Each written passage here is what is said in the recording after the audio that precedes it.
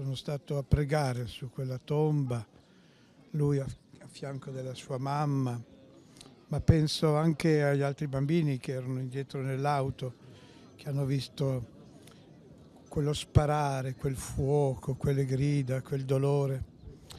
Dobbiamo dire loro che li vogliamo bene. Paleggia Agnesi è il nome di un popolo, non di un clan di mafia. È un nome di un popolo quello che voi portate, di un popolo meraviglioso e generoso e nessuno approfitti per attaccare altre etichette. Don Luigi Ciotti getta acqua sul fuoco della polemica per chi ha ritenuto di non partecipare al corteo di Libera.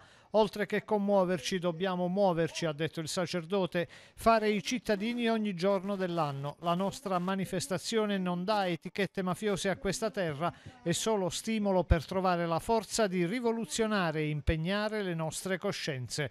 Al corteo hanno preso parte studenti, associazioni, sindacati, in testa i gonfaloni dei comuni limitrofi ed i loro sindaci, i dirigenti scolastici, i rappresentanti della regione, dalla scuola Rodari a Piazza Falcone e Borsellino passando per il centro del paese.